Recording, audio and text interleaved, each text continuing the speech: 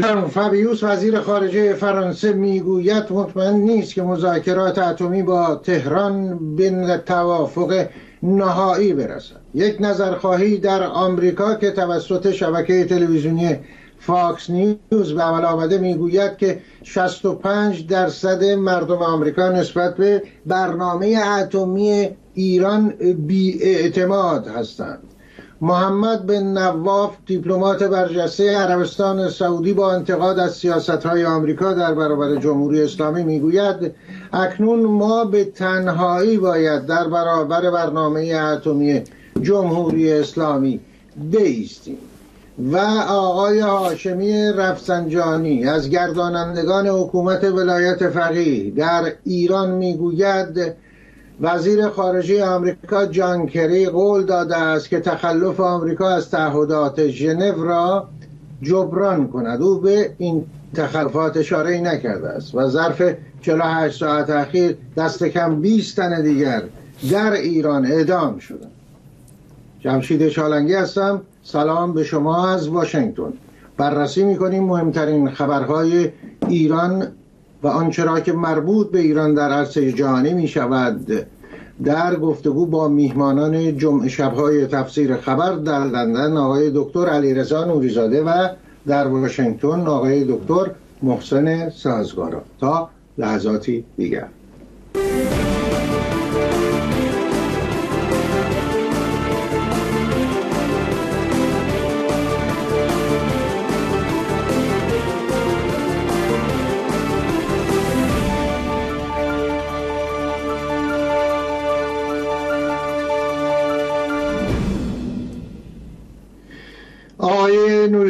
عزیز در لندن سلام به شما. درود بر شما جناب چالنگی عزیزم دکتر سازگارای نازنین و همه بینندگان تلویزیون ایران فردا و شنوندگان. هر کجا که هستید به ویژه در خانه پدر.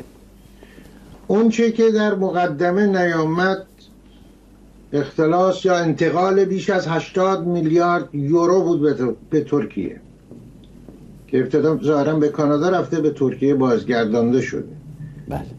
در این زمینه این رقم آقای نوریزاده آیا رقم واقعی است؟ یعنی بالای 80 میلیارد دلار یورو در حدود سه سال و افرادی که این پول ها رو اخراج کردن. یک شبکه حتی گفته میشه چند تن از مقامات پلیس ترکیه برکنار شدن و رئیس پلیس ترکیه. دورا دور در ارتباط با این مسائل. پسر وزیر کشور دو تا پسرای دو تا از وزرای دیگه مشاور ارشد آقای اردوگان. این هم دولت اسلامی درستکار. و آقایی که در این وسط واسطه بوده و به عنوان یه میلیاردر خودشو انداخته بود وسط با یه خواننده بسیار زیبا و مشهور ترکیه هم ازدواج کرد و حالا معلوم شده ایشون عامل بوده. برید چالنگی در جریان اون 18 تن طلا و 18 میلیارد و از این مسائلی که پیش اومد دولت ترکیه خیلی سریع سرپوش گذاشت. جایی گفتن که بله ترکا گفتن این پول باید در ترکیه سرمایه گذاری بشه و ظاهرا جمهوری اسلامی هم قبول کرد و سر و صدا خوابید.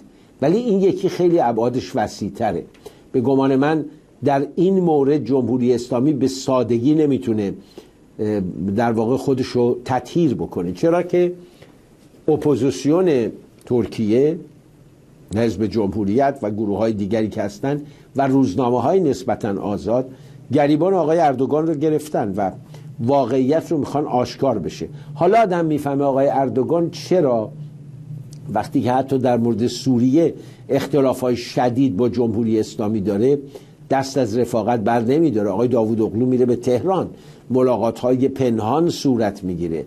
در مسائل امنیتی با هم همکاری های نزدیک دارن. همه اینا برمیگرده به یه جا که پیش خودمون بشینیم دو دو تا چهار تا حساب بکنیم. خیلی از ما از جمله بنده در دوران قبل از انقلاب چندین نوبت از ترکیه عبور کردیم.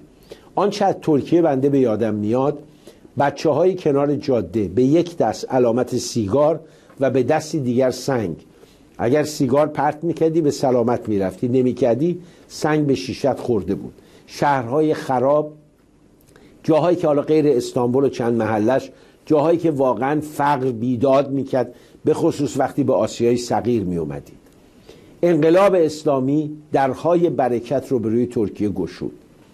ترکیه در واقع دروازه بود که هم پول می‌رفت بیرون هم انسان هم چهره های برجسته هم مغزهای متفکر. و ترکا در این مدت بعد از اینکه آقای ترگوت اوزال اومد و اون سیاست نگاه به شر رو باز کرد و به دنبال او دولت های بعدی که اومدن. حتی وقتی آقای اجویت اومد و سپس رسید به دولت آقای اردوگان جمهوری اسلامی گاو شیرده بود که چون کار خلاف می‌کردن ترکا از این کار خلاف بهره برداری کردن. الان هم این ماجرا پیش اومده. ارقام آقای چالنگی زیاد مهم نیست. 80 میلیارد بوده یا 65 میلیارد بوده. اهمیت این کار اینه که جمهوری اسلامی یک دنده راست نداره. تمام کاراش روی تزویر و ریا و فریب و دروغه و سر ملت کلاه گذاشتن و اختلاس های عمده کردن. گهگاه اینجوری میفته بیرون و تشت رسوایی به صدا در میاد. بعد ارقام وقتی به دلار تبدیل می‌کنیم میشه همون واقعا حیرت آور این ارقام. آقای سازگاره در واشنگتن سلام بشون عرض سلام و ارادت دارم آقای چلنگ خدمت شما آقای دکتر نوریزاده عزیز و همه بینندگان گرامی. خب این دوباره قضیه این هستش. یعنی یک بار در داخل می‌بینیم ابعاد فساد که اشاره میشه. بخشش خود آقای سعید مرتضوی هست. یک بخشش هم همین هست که داریم می‌بینیم. تازه بخشی است که به روی آب اومده یا افشا شده. از طرف دیگه تمام این تلاش ها برای اینه که تحریم ها از بین بره دارایی های ایران نقدیش آزاد بشه. آزاد بشه که چی؟ آیا بیاد و دوباره به این طریق از طریق کسانی که حتی اسم اسمشون هم منتشر نمی‌کنن منتقل بشه به خارج؟ آقای سایر ابعاد این فساد رو به ما خواهید گفت. آقای چالنگی واقعا من با اعداد بزرگ بیگانه نیستم. موقعی که مسئول سازمان گسترش و نوسازی صنایع ایران بودم سالیانه نزدیک به سه میلیارد دلار کارخانجات ما گشایش اعتبار می‌کرد ولی واقعا اعتراف می‌کنم اعدادی مثل 87 میلیارد یورو که منتقل شده البته ظاهرا به برای دور زدن تحریم ها بوده از اون هالک بانک ترکیه. ولی اعدادی که فساد رو نشون میده انصافا در مخیله آدم جا نمی‌گیره. من شخصا اصلا برام تصورش هم دشوار اعتراف می‌کنم. به هر صورت ببینید مسئله آقای رضا زراب نامی که آقای نوریزاده اشاره کردن یک جوان 29 ساله ظاهرا شریک همون آقای بابک زنجانی میلیاردر مرموز در ایرانه که پشتش ظاهرا بیت رهبری و سپاه قرار داره و یک قلم توی اون پروژه برج ایران زمین که شورای شهرسازی لغو کرد. برای اینکه گودبرداری کردن خونه های مردم نشست کرده بود. خط و نشون ایشون کشیده بود که من 900 میلیون یورو خرج کردم 400 میلیارد تومن خرج جوازش کردم. هیچ کی جرأت نداره که این رو لغو کنه. من واقعا وقتی اینو میخوندم فکر کردم این آقای بابک زنجانی پشتش به کدوم کوه احد تو ایرانه که اینطوری حرف می‌زنه و این اعداد و ارقام اصلا از کجا اومده؟ یعنی یه جوان 37 ساله یک مرتبه توی اقتصاد ایران پیدا شده. بدهیش مثلا یک قلم نه هزار میلیارد تومن وزارت نفت فقط از حساب تاجیکستانش برداشته. حالا هنوز میلیاردها بدهکار بر صورت من شخصا عرض می‌کنم در ترکیه آقای چالنگی اون چند سال پیش که صحبت 500 تن طلا و 18 میلیارد دلار پول بود من از طریق یکی از وکلای امریکایی که دوستم بود با سه وکیل دیگه انگلیسی، ترکیه‌ای و امریکایی تیمی درست کردیم که این پول چون پول ملت ایرانه بلکه در ترکیه توقیف بشه و دولت ترکیه نخوره این پولو. اما که دکتر نوری دادم گفتن واقعا بعد از شش ماه تلاش این تیم وکلای ما به شدت دولت ترکیه جلوش رو بست. و در واقع اون پول رو هرچه بود خورد و اموال مردم ایران رو به قارت برد. الان هم این فساد بزرگ من نمی‌دونم که چقدرش خرج رشوه به پسر وزیر اقتصاد و وزیر کشور و 47 تا 48 تا آدم دیگه شده. چقدرش واقعا رفته دلا پهنا خرج گشایش اعتبار شد ولی این رو می‌دونم.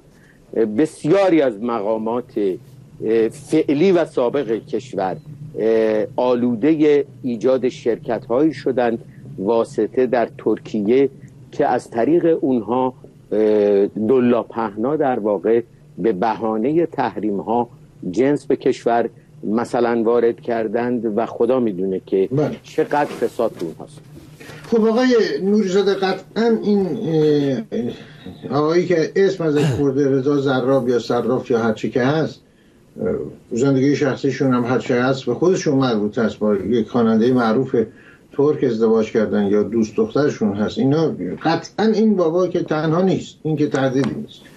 یعنی یک شبهی باید باشه. اما نکته اینه. آقای سازگاره اشاره می‌کنه که این برای دور زدن تحریم ها بود. حکومت ایران بیاد چرا نمیاد اعلام بکنه یعنی بیاد بگه آقا ما ناچار بودیم برای دور زدن تحریم ها برای تأمین آب و گوشت مردم داروی مردم. دست به همچین مخاطراتی بزنیم. اگه این پول مشروع است اگه خروجش مشروع است اگر همه اینها هست. نه ببینید آیه چالنگی دور زدن تحریم ها یک مقوله است و مقوله دیگر این است که این پول یه مقدار زیادیش از داخل خود ایران آمده. این الان یه جای سوال داره. همون از داخل ایران فرستادن جنس دور زدن حالا جنس می‌خوان بخرن جنس هم می‌خوان بخرن. من در مقوله مواد غذایی و نمی‌دونم دارویی و اینا اینا زیاد با مشکلی روبرو نبودن.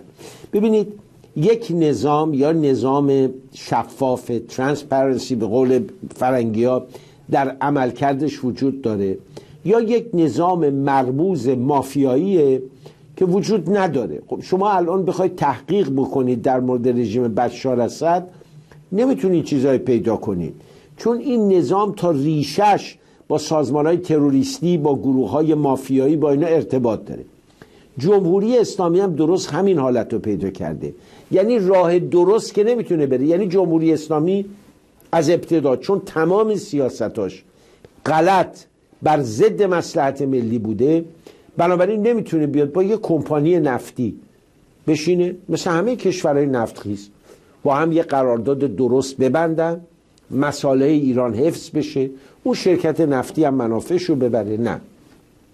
حتما باید یک پتروپارس مثلا درست بشه یه پترو فلان درست بشه. آقای سیروس ناصری بیاد اون آقای فلان بیاد تو سوئیس یا تو ایتالیا آقای هدایت بیاد. بیان کار آقای هدایتی و بعد نفت از طریق اونا به فروش بره. چرا؟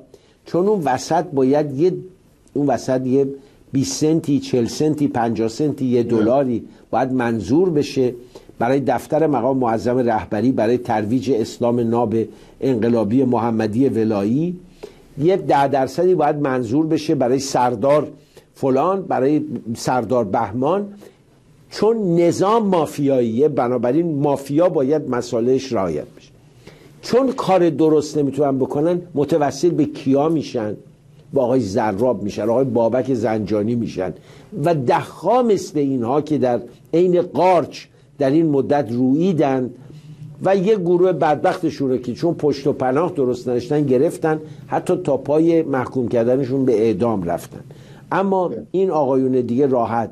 وقت جالبم است خیلی خوش سلیغن با زیباترین خواننده ترکیه ارتباط دارن و بعد چه مراسم شاهانه برپا می‌کنن.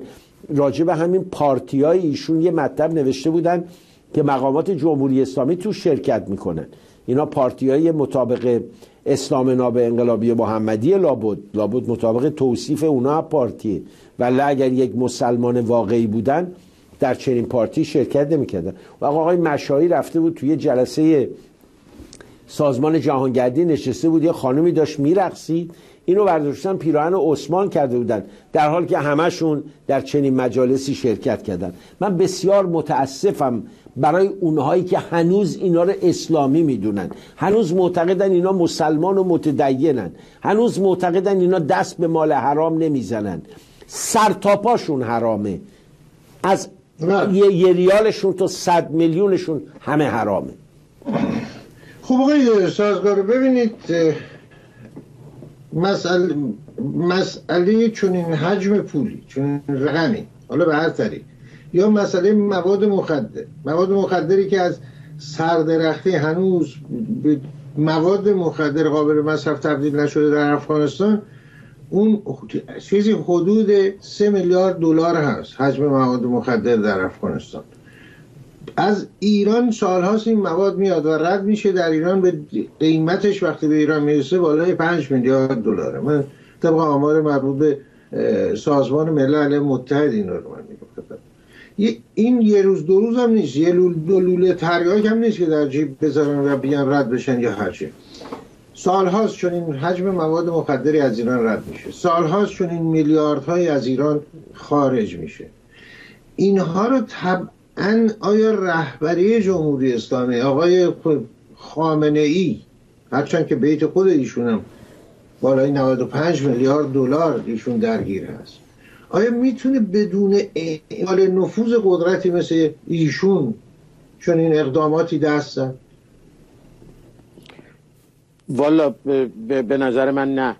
برای اینکه قاچاق مواد مخدر یا سایر کارهایی که انجام میشه بدون اینکه خود رهبری خود من اصطلاحا میگم خود جناب پوتین برای اینکه درست این بسات یک نوع ایدئولوژی پوتینیزم اگر اسمش رو بگذاریم در روسیه وجود داره. بی جهت هم نیست که این آقای پوتین با خوشحالی گفته که می‌خواد بره ایران و و همتایان ایرانیشو ببینه. البته آقای سازگار من ناچارم این یه جور بیعدالتی میدیم به هر حال حکومت روسیه هرچه که باشه یک حکومت رو آینده داره و اقداماتی که در جمهوری اسلامی انجام میشه در ایران کنونی به اون شکل بان در روسیه نیست. یعنی دست کسی رو اعدام هایی که هست و و و و بقیه بله مرادم مقایسه ایران و روسیه از همه ابعاد نیست بله روسیه یکی از قدرت های جهانی قبلا یک ابرقدرت بوده و. مرادم دقیقا به دلیل ساختار اقتصادی است که یک تعداد باند مافیایی وجود دارند با هم می ولی بله. منافع رو قسمت می‌کنن و گاهی هم با هم حسابی همکاری می‌کنن گاهی هم رقابت می‌کنن همدیگر رو به زندان هم میاندازن من راجع به آنچه که داره میگذره واقعا آقای چالنگی به عنوان یک شهروند ایرانی حرفم این است که به من چه که آقای خامنه ای با سوء سیاست کشور رو داخل پرتگاهی برای یک پروژه بی سر و تهی مثل داستان هسته‌ای برده که این تحریم ها این خسارت ها رو به کشور تحمیل کرده بعد حالا برای دور زدنش به من شهروند بگن که بله ما مثلا رفتیم ترکیه پولشویی کردیم یا طلا قاچاق کردیم یا این کسافتکاری ها ریشش از ریشه من شهروند اعتراض دارم که آقا برای چی تو تو رفتی توی یه پروژه‌ای که آخرش هم به هیچ جا نرسیدی الان داری شکست می‌خوری عقب نشینی می‌کنی با التماس 4 میلیارد دلار پول تو می‌خوان آزاد بکنن و اون از قبلش میلیاردها میلیارد صدمه زدی قوانین کلش به هم ریخته بی حساب کتابی بیداد می‌کنه. یکیش هم مواد مخدره که از کابل حرکت می‌کنه از تهران رد میشه. ضمنا گفت مبارک خوشگل بود آبلم در بود حزب الله لبنان هم گزارشی بود مفصل که بله. میلیارد دلار ایران حد اقل بهش میده اما 6 میلیارد دلار هم کشت خشخاش در جنوب دره بقا و شمال لبنان می‌کنه و به سلامتی تبدیل به هروئین می‌کنه. از طریق آمریکای لاتین احتمالا سرپلشون هم ونزوئلاست در دنیا میفته. یعنی می‌خوام بگم این فساد نهادینه ای که سر از کارهای مافیایی مثل قاچاق مواد مخدر هم در میاره رویده بر اون سیاست های غلطی است که ناچارن همه قوانین رو به هم زده و در نتیجه حاکمیت باندهای مافیایی شد. بر صورت این داستان از قاتل های اصلی یک اقتصاد سالمی قابت است. و وقتی گفته نمیشه که برای حتی دو زدن تحریم و تأمین نیازهای مردم هست خب طبیعی هست دیگه جایی نمیده یعنی معلوم میشه که حیف و میل هست و انتقال به حسابهای شخصی بانک ها در قرد اما صحبت حزب الله شد آقای نوری زده در دره بقا شما قطعا می‌دونید که سالهاست این کشت خشخاش بوده و سالها چنین می‌کردن و زمانی هم که سوریه بود. الان آمار تازه یا سازگارام اشاره کردن. نقش حزب الله لبنان. یعنی این مافیایی که از تهران شروع میشه دود و دمش در لبنان هم بلند شده سال هاست نیست؟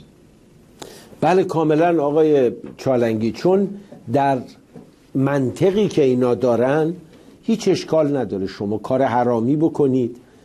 کاری رو که واقعا وجدان انسان اگر یک ذره یک ذره صفا داشته باشه یک ذره انسان با خدا باشه فکر نمی‌کنه که جوان غربی چون جوان غربی مال دولت های غربیه باید آلوده بشی همچی فکری نمی‌کنه یه وقتی آقای فلاحیان وزیر اطلاعات جمهوری اسلامی از بانو قائم مقامی که یه مدتی دوست ایشون بودن و مهماندار هواپیما استفاده می‌کرد برای ارسال هروئین به آلمان. و بسته های عجیب غریب هروئین از طریق ایشون میفرستادن و این یک بار که بحث شده بود گفته بودن ما وظیفمون اینه برای ترویج اسلام جوانای غربی رو فاسد کنیم آلوده کنیم. اما اینجا مسئله فقط آلوده کردن نیست. مثلا این حسن نصرالله که ادعا می‌کنه به هر حال جز نوکران ولی فقیه و نظر کرده های امام زمان ایشون به یکی از میلیاردرهای جهان تبدیل شده و بخشی از این پول که خب طبیعتا سال یه میلیارد خورده ایران میده ولی بخش دیگری از همین قاچاق مواد مخدر. در دره بقای لبنان یه زمانی یه زمانی در اونجا بود که شاهدانه میکاشتن و هشیش معروف بود در اون قسمت. بعد در یه بخش کوچکی اومدن خشخاش کاشتن. و این خشخاش رو می‌گفتن مصرف دارویی داره برای داروی لبنان و سوریه. به مرور وقتی تمام منطقه دست حزب الله افتاد انواع و اقسام مواد مخدر کارگاه های بزرگ هروئین سازی در اونجا دایر شد کارشناس از جمهوری اسلامی آوردن و اینا مشغول شدن هروئین درجه یک درست کردن و انتقالش به آمریکای لاتین. و اروپا. و از طریق آمریکای لاتین سرازیر بازار آمریکا کردن و بر این باورن که هم این درآمد خیلی مشروع و مال حلاله لابد خمسش هم میدن به آقای خامنه ای و همین که این غرب رو فاسد می‌کنه. و به این طریق اینا می‌تونن پول. ببینید آقای چالنگی وقتی شما در مبدع به چیزی اعتقاد نداشته باشه انسان وقتی به خدا اعتقاد نداشت هر کاری می‌کنه براش دیگه مطرح نیست. وقتی ضوابط اخلاقی نداشت حالا میگیم یه نفر به دین اعتقاد نداره ولی برای خودش ضوابط اخلاقی داره. بله. خب پایبندشه اعمالی رو انجام نمیده لزوم نداره حتما مؤمن و نماز خون باشه. این همه مسیحی و یهودی و بهایی و غیر زرتشتی و هندو انسانهایی که به و بدون دین. و بدون دین به این پرنسیبا اعتقاد دارن. پاپ همین چند روز پیش صحبت می‌کرد. متهمش کردن که کمونیسته گفت من انقدر رفقای کمونیست داشتم. چه انسانهای والا و آزاداندیش و عدالت پروری بودن. خیلی خوب. پس میشه. اما شما وقتی به هیچ اعتقاد نداری یعنی نه پرنسیب اخلاقی برات خط قرمزه نه دین برات خط قرمزه دین وسیله است برای تحمیق مردم. من با به شرافت انسانی سوگند می‌خورم. در میان اهالی جمهوری اسلامی شاید به انزه انگشتان دست آدم معتقد نباشه. یعنی آدم فکر می‌کنه روح حسینیان ری شهری فلاحیان مصلحی اینا به دین اعتقاد دارن. واقعا اینا معتقد به روز جزا هستن. این جماعتی که ما احمد جنتی معتقد به روز جزا صادق لاریجانی باور داره که باید یه روزگاری در پیشگاه خداوند پاسخگو باشه.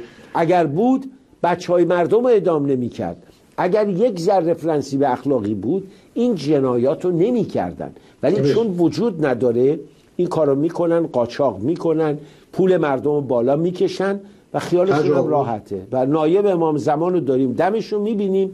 انشالله در بهشتم جای ما هست. بر.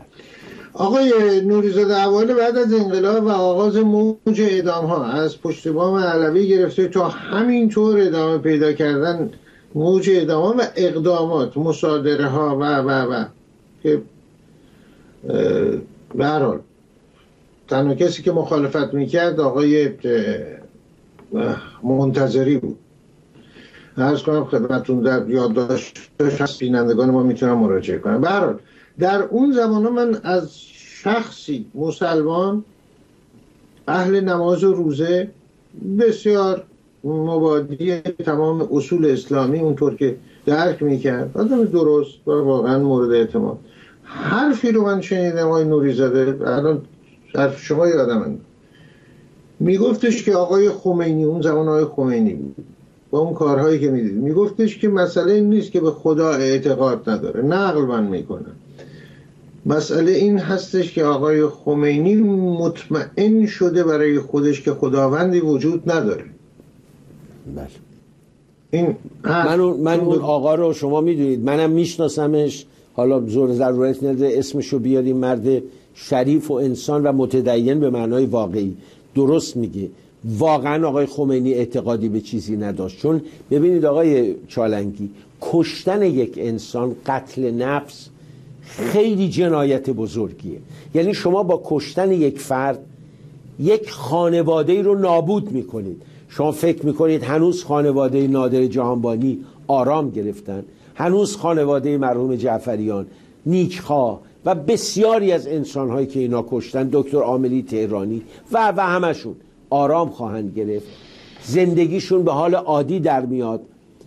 نگاه کنید مادر بهشتی به حال عادی در خواهد اومد پسرشو گرفتن کشتن.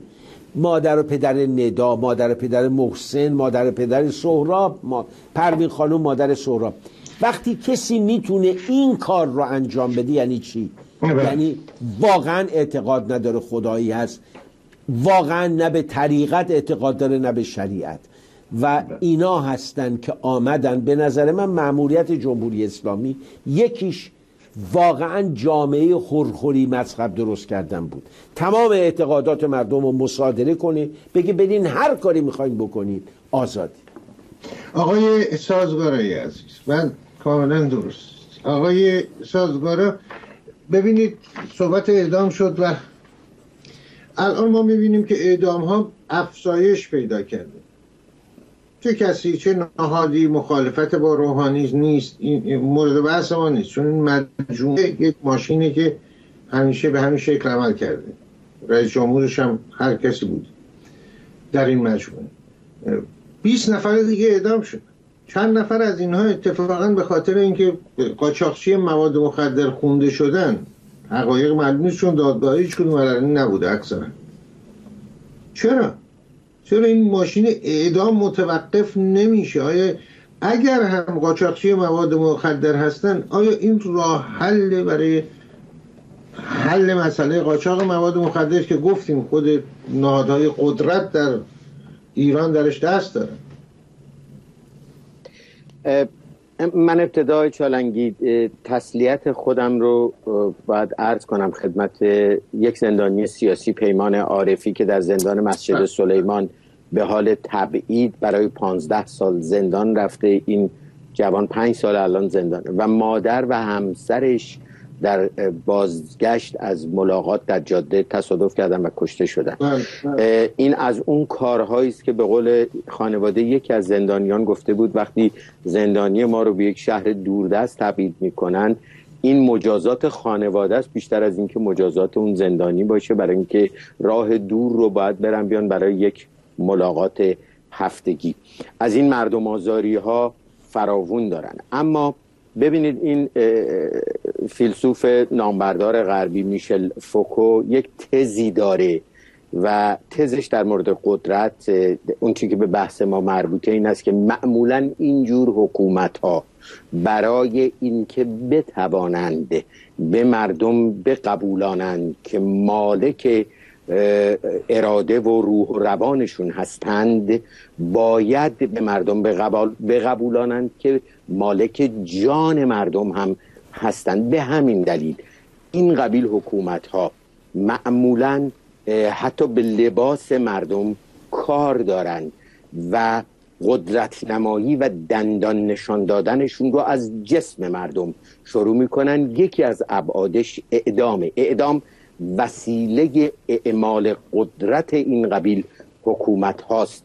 به همین دلیل هم که تمام حکومت های اقتدار گرای این چنینی آمار اعدام های بالا داشتند و دارند. جمهوری اسلامی از روی مقدار اعدامی که می‌کنه شما می‌تونید مقدار به نظر من درجه بندی اقتدارگراییش رو اندازه بگیرید که معمولا سرانه اعدام در کشور ما اول در دنیا به نسبت جمعیت و مطلق هم با یک و سه دهم میلیارد جمعیت چین حد پشت چین میسته لذا می‌بینید که چه مقدار این حکومت در واقع در اقتدارگرایی و سلب قدرت از مردم تند رو هستش. خب این اقتدارگرایی های سازگار اگر اقتدارگرایی هست من اقتدارگرایی رو به جای اتوریتریان گذاشتم. اما دیگه در کوبا سالها اعدام نمیکن در کره شمالی سالها اعدام نمی‌کرد.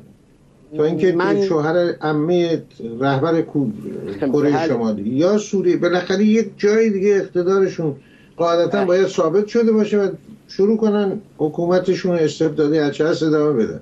پس این آیا ثابت نمی‌کنه نشون نمیده که هنوز مردم نپذیرفتن این حکومت و هنوز حکومت نیازمنده که خودشو به مردم تحمیل کنه نیست؟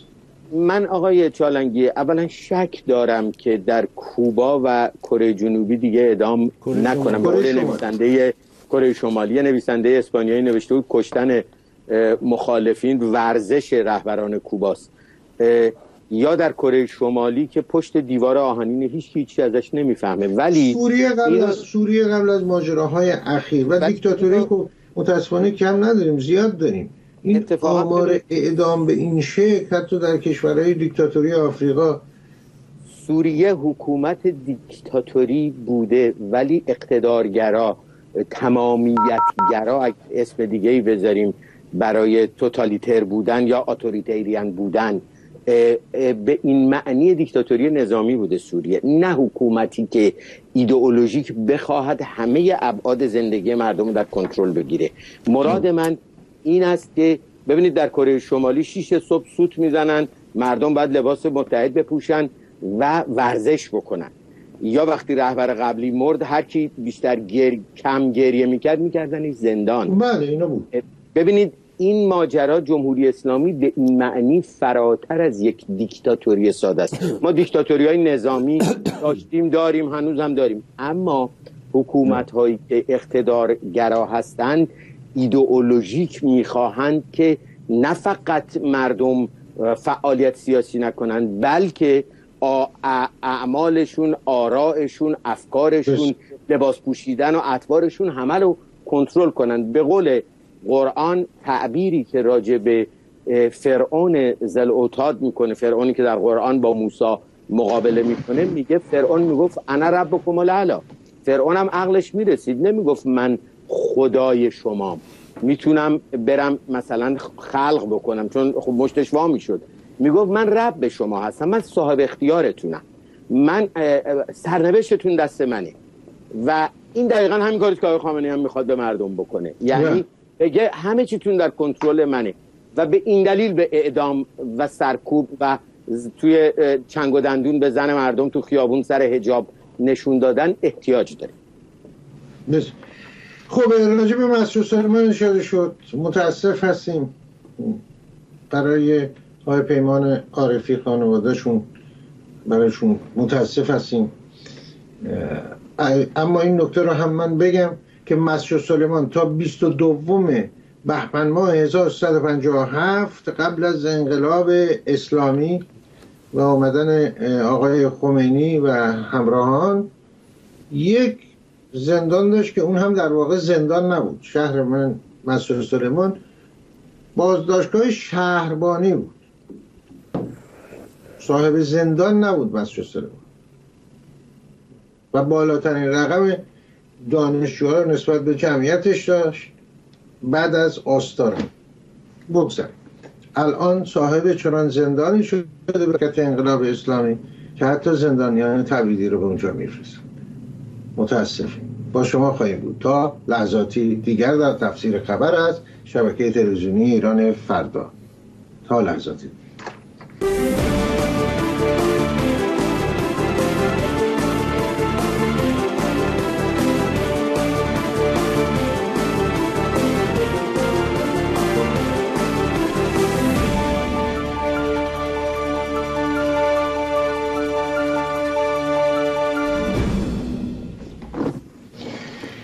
آقای دکتر نوریزاده عزیز آقای محمد بن نواف با نیویورک تایمز مصاحبه کرده. دیپلمات سعودی سفیر عربستان در لندن.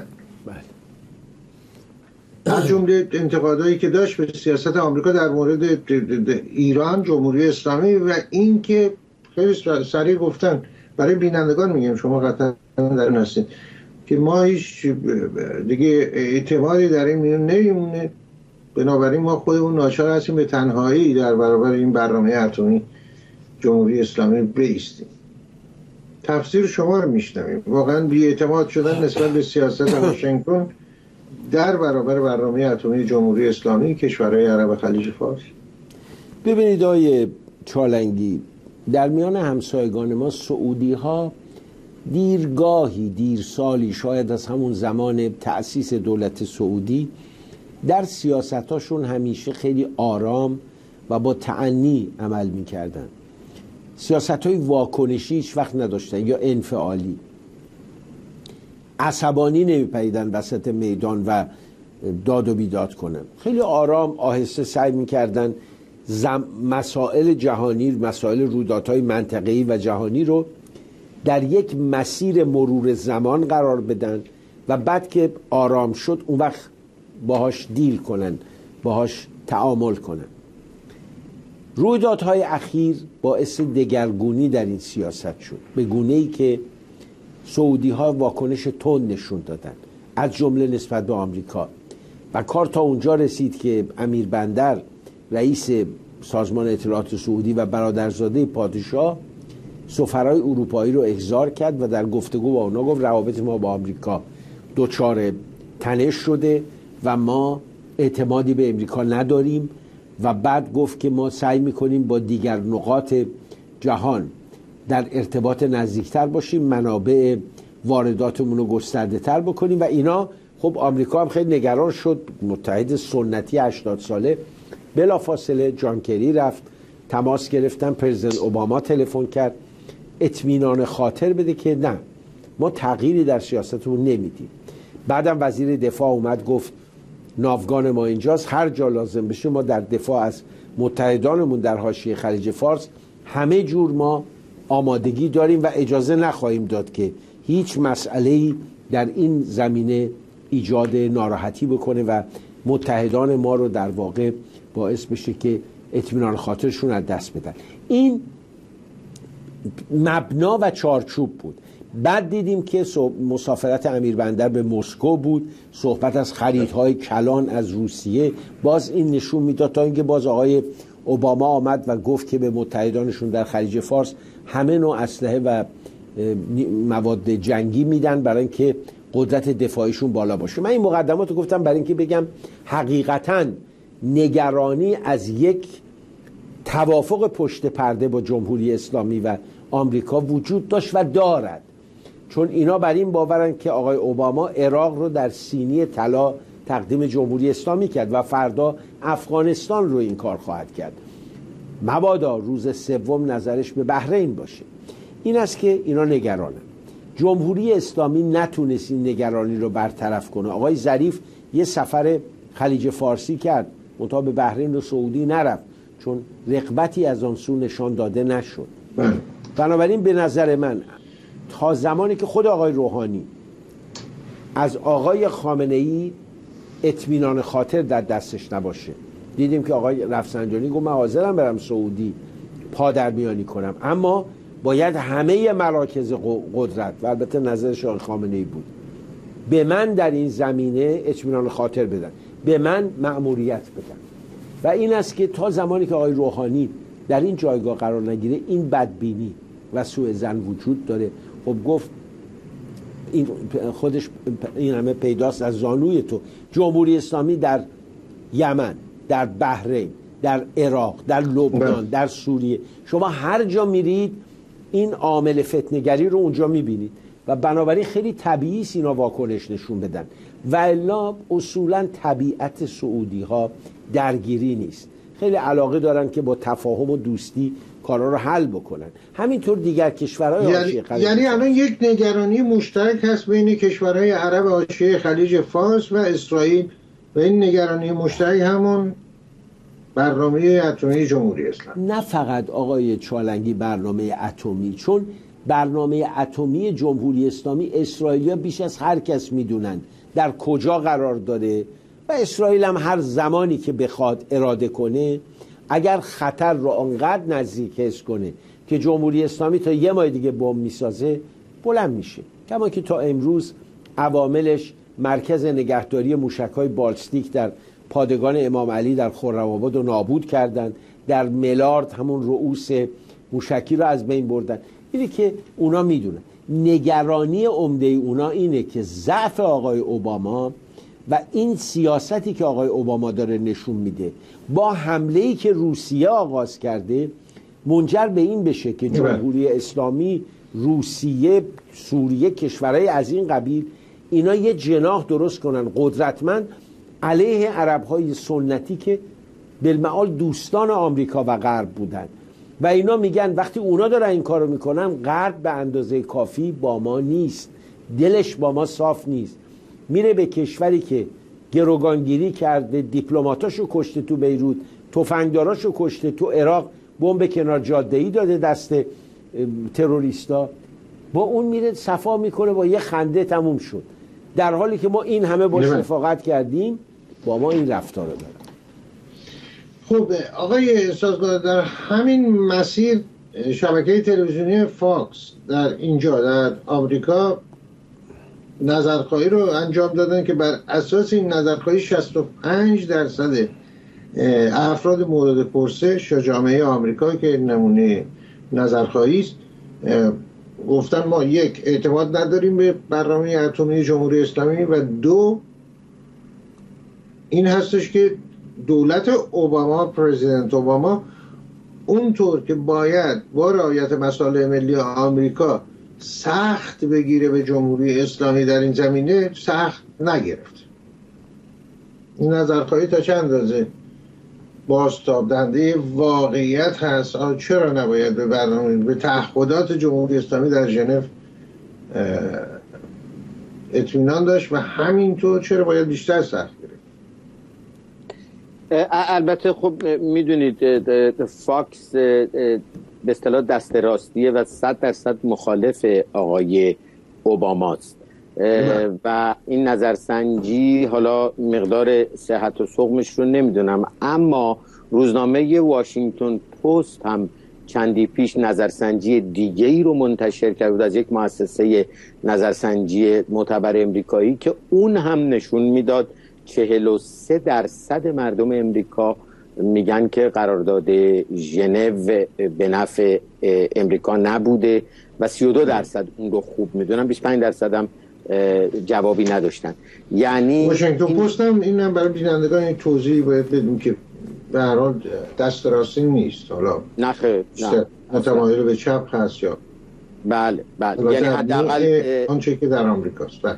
حداقل در واقع در جناح بیشتر متمایل به حزب دموکرات و دفاع از دولت اوباما عمل می‌کنه روزنامه واشنگتن پست. به هر صورت این درسته وضعیت آقای اوباما وضعیت خوبی نیست در امریکا. محبوبیت ایشون آمار نشون میده پایین اومده به پایین ترین سطوحش در دوره تصدیش رسیده و آقای اوباما با توجه به مشکلی که در سوریه عقب نشینی کرد و به اعتماد و قول رئیس جمهور امریکا در دنیا ضربه خورد. با توجه به مشکل بیمه که ایشون جلوی پارلمان در واقع اونجور جنگ و جدال شد کنگره امریکا ولی بعد سایتشون خوابید زمین و مسئله ایجاد شد. آقای اوباما مسئله ایران براش الان شاید تنها چیزی است که فکر می‌کنه.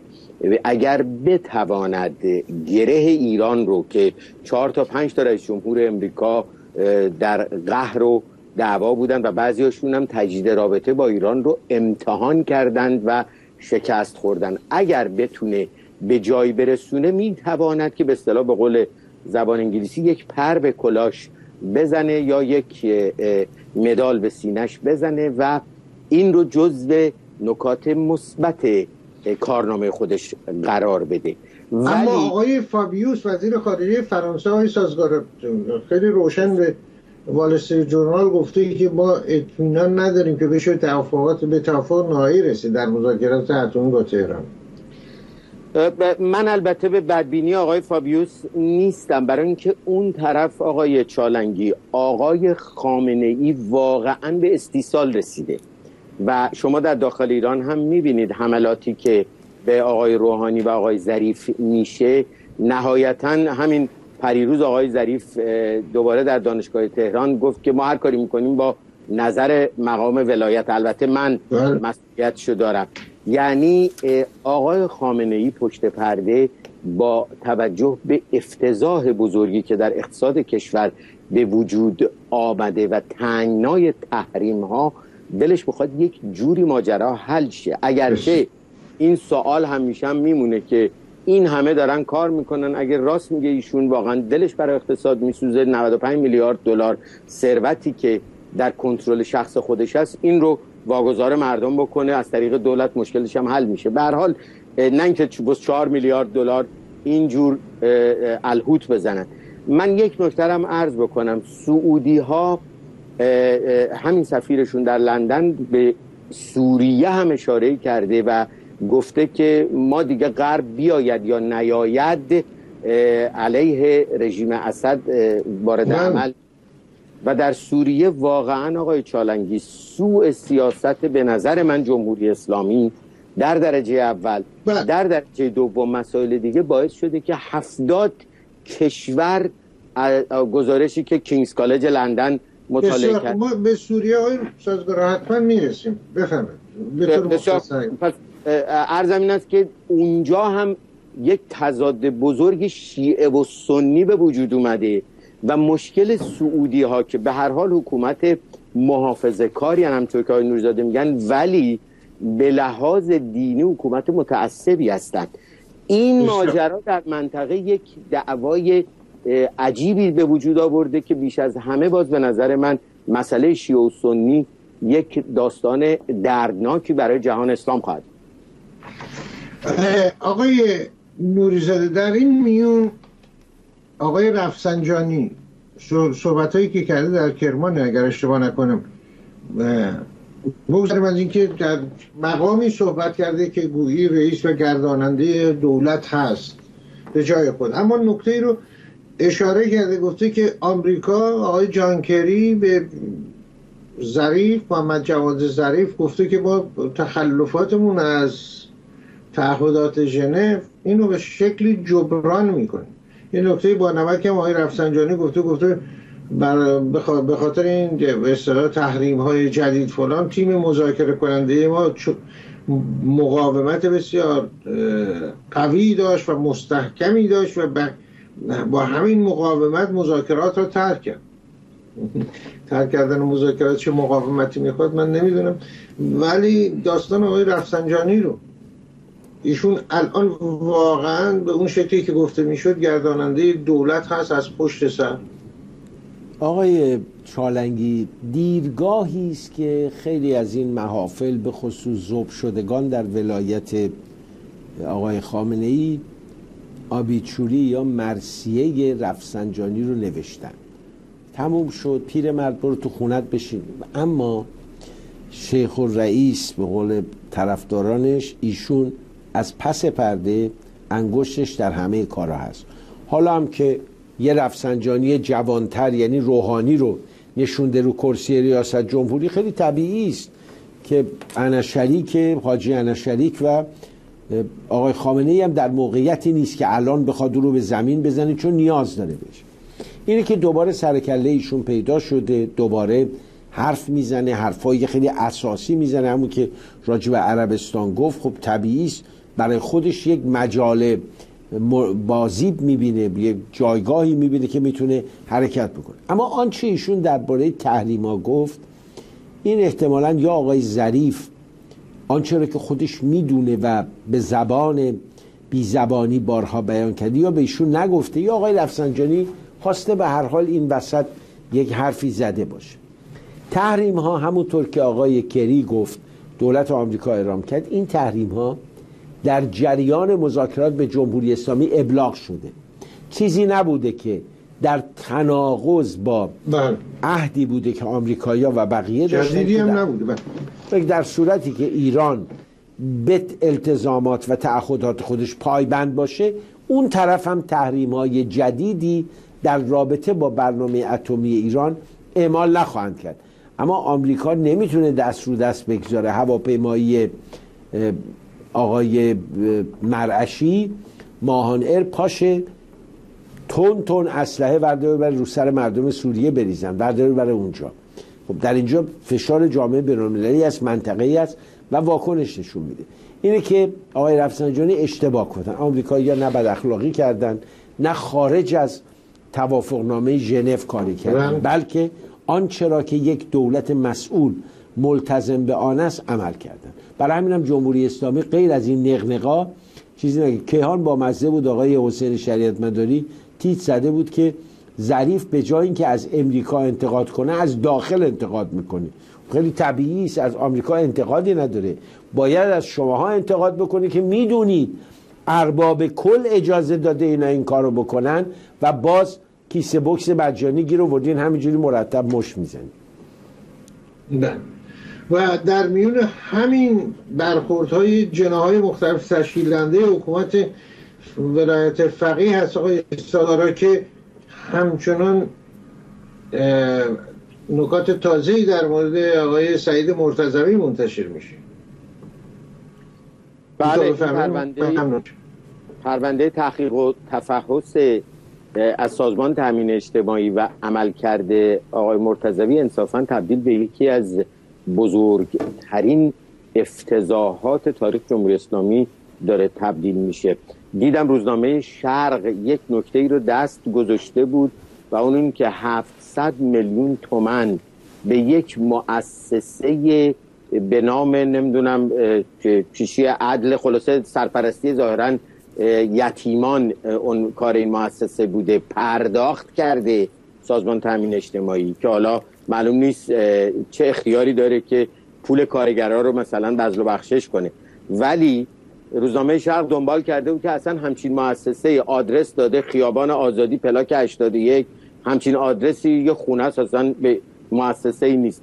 هیچ جا ثبت نشده هیچ نشانی ازش پیدا نشده و نهایتا نتیجه این که این فقط یک اسم و یک پوشش بوده و به حساب شخص آقای مرتضوی و اعوان انصارش رفته و ده ها آقای چالنگی از این قبیل مسائل. البته آقای مرتضوی هم حسب معمول اه، مقامات جمهوری اسلامی یک تهدیدی کرده بود که اگه منو بابت این به دادگاه بکشید اون وقت من هم افشا می‌کنم از اون بگم بگم های احمدی نژادی که این پشت این پرونده کیا بودن؟ عناصر فتنه بودن.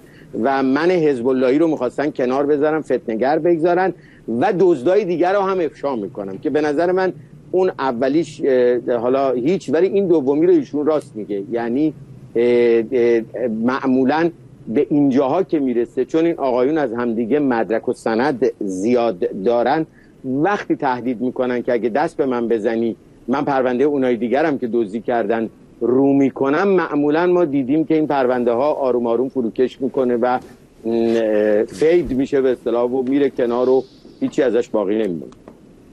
در خیابان آزادی نشانه ای نیست. یا خیابان آزادی نشانه نشانه ای نداره. بله. بسیار سمبولیک است جناب چالنگی این فقط در تایید حرفای دکتر سازگارا اینو می‌خوام بگم.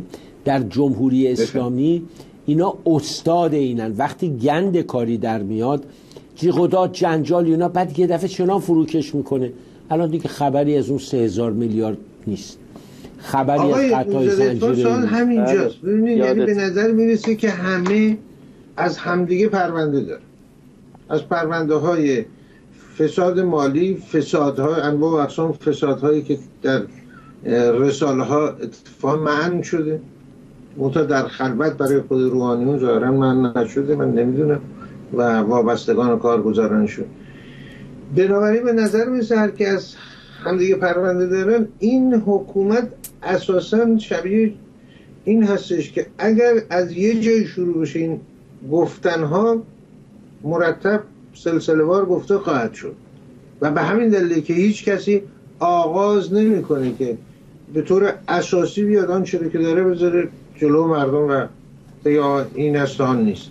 تا اینکه رویتر بیاد بگه 95 میلیارد دلار فقط در بیت رهبری است آیه چالنگی ببینید خود آقای خامنه ای و فرزندانش مجموعهشون اینا یک واحد ویژه‌ای در وزارت اطلاعات نظارت بر کار اینا دارن. حالا عنوانش هم اینه برای اینکه اینا طرف حمله قرار نگیرن مورد مصیبت معنوی قرار نگیرن آسیب نبینن غیره اینا مراقبت دارن. ولی تمام تلفناشون گوش داده میشه تمام ارتباطاتشون رو می‌دونن. بعد آقای خامنه‌ای اومده یه دستگاه اطلاعاتی خودش درست کرده به ریاست سید اسقر حجازی. اون داره نظارت می‌کنه باز بر کار دولت و فرماندهان سپاه و غیره. بعد یه سازمان اطلاعات سپاه طائف هست. ببینید ما هیچ رژیمی در دنیا حتی کره شمالی اطلاعاتی تر از رژیم جمهوری اسلامی نداریم. نیمی از کارکنان این رژیم مامور اطلاعاتن. حالا هر کدوم برای یه جایی یکی برای حراست یکی برای اطلاعات سپاه یکی برای سپاه قدس یکی برای وزارت اطلاعات یکی برای دفتر مقام مبارک یکی برای اطلاعات حوزه. ببینید وقتی یه رژیم اینجوری شد یعنی چی؟ همه علیه همدیگه پرونده دارن. به موقع که شد رو می‌کنن حالا بگذارید ماجرا آقای احمدی نژاد و آقای مرتضوی خود بیشتر ادامه پیدا کنه. وقت ببینید چه پرونده های رو خواهد شد. در بله. درویش گنابادی در زندان بهایی در زندان اهل سنت در زندان مسیحی در زندان یهودی در زندان زرتشتی در زندان بی مذهب در زندان روحانی در زندان مثل آقای کازمینی بروجردی در تهران وقت کتابی رونمایی میشه که می‌خواد ثابت بکنه که ایران مهد بهشت نزدیکی و دوستی مذاهب شده. یک دقیقه وقت داریم. بله واقعا آقای چالنگی. من یه چیزی رو فقط باید بگم. من از مقدار روی این آقایون واقعا تعجب می‌کنم. یعنی اعتراف می‌کنم. نمی‌دونم این مقدار پررویی رو این حضرات از کجا میارن. از همین مقادیر پولهایی که شاید حیف شاید چون واقعا همجوری که میگید کتابی رو رونمایی کردن که ایران سرزمین صلح ادیان و بله. توصیف اینکه ادیان مختلف با آرامش کنار همدیگه در ایران دارن زندگی بله. می‌کنن و همجور که فرمودید هیچ پیرو به هیچ دینی حتی شیعه اصناعشری اگر ولایت فقیهی آقای از نوع آقای خامنه ای فکر نکنه در امان نیست. چه برسد به بنده خدا؟ سنی و نمی‌دونم درویش و بهایی و مسیحی و زرتشتی و یهودی و غیره. به حال یه چیز با نمک دیگه هم دیدم. آقای خاتمی گفته خیلی خوب. آقای خاتمی گفته بود اقلا منو شنود می‌کنی؟ صداقت داشته باشین درست گزارشش رو منتقل بله. کنید و این, شون... این که میگن آقای نوریزاده همه رو ظاهرا شنود می‌کنن تو بله. در حال امیدواریم در ایران چون اینکه نباشه هیچ وقت نباشه کما اینکه در زمان تمام رؤسای جمهوری اسلامی تا به امروز دستگاه شنود بوده کار کردن شکنجه کردن و زندان بوده کم و بیش. حتی در دوره آقای محمد خاتمی نیست. با سپاس بسیار از آقای دکتر محسن سازگاران و سپاس بسیار از آقای دکتر علیرضا نوری زاده در استودیو در لندن. ایران. فردا. به پایان این برنامه تفسیر خبر می‌رسیم. می‌تونید به سایت وبسایت شبکه تلویزیونی ایران فردا مراجعه کنید. آرشیو تفسیر خبر در اونجاست و آرشیو همه برنامه دیگه ایران فردا. با امید به فردایی بهتر. با برآمدن آفتاب از فراز البر توچال سند و سبلان و آسماری و کوهساران دنا و تفتان و تابشان بر فلات ایران زمین. روزگارتان خوش تندرستیتان پایدار باد.